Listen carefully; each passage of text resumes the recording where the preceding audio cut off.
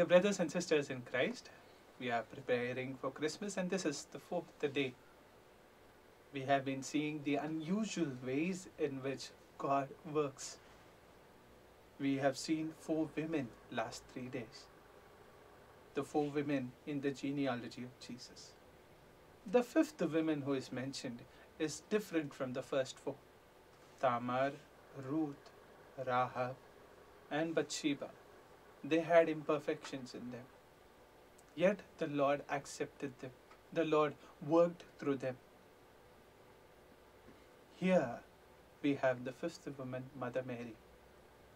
Three things. We have hundreds of things which we can learn from her, but three things that the Lord is speaking to us this year through her is the value of humility, the value of simplicity, and the value of obedience.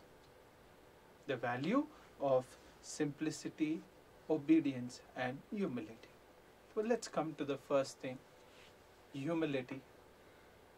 Mother Mary was a humble servant of God. Humility is not decreasing yourself, humility is knowing your true value.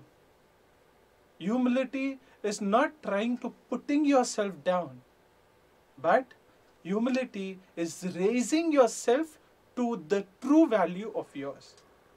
Not looking at yourself through the prism of your talents, your wealth, your possession, your property, but looking at yourself how God looks at you is true humility. Henceforth, humility doesn't mean I become a doormat and people walk on me. Humility doesn't mean I become victim. Humility means I become an instrument, a weapon, a witness. Instrument, weapon, and witness of God. And that is what Mother Mary, the humble servant of God, her submission to God shows her humility. She was the humble one who was there for God to use her. Now, what is the whole play? What happens if I'm not humble? If I'm not humble, I am not allowing God to work through me. I am blocking God. Because my thoughts about myself, my conceptions, they somehow block God working through me. We have all seen taps, right? Water flows through them. What happens if there are some sediments blocking the flow of the water? Slowly, the tap becomes useless. There is water, but not flowing because there are things that are blocking. The same happens when I'm not humble. And the greatest thing about Mother Mary is that she allowed God to work through her completely, perfectly, fully. That's how the Son of God was born through her. That's the power of humility. Second was her simplicity. She was not complicated. She was not doubting God. Look at Gideon, the way he was questioning God. He was not, she was not doubting God. She was not questioning God.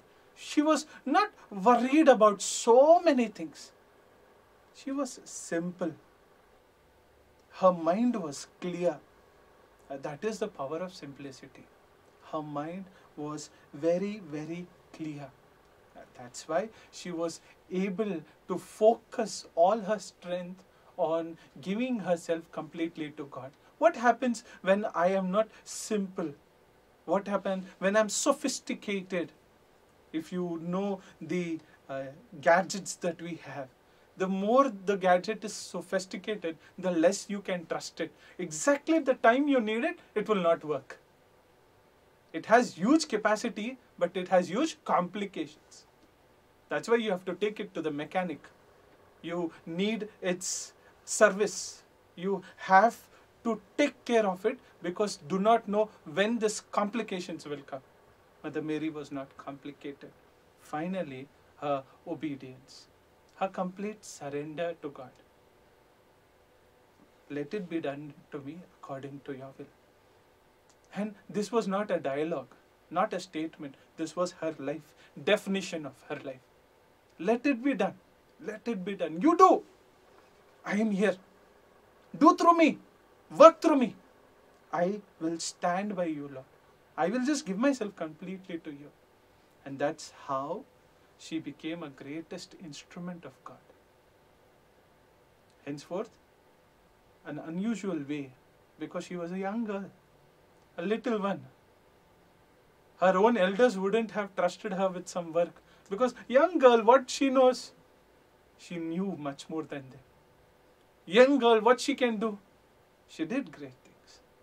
So therefore, God did not look at her physical strength or physical stature, at her age. He looked at her heart, and her heart was pure because it was humble, simple, and obedient. Amen.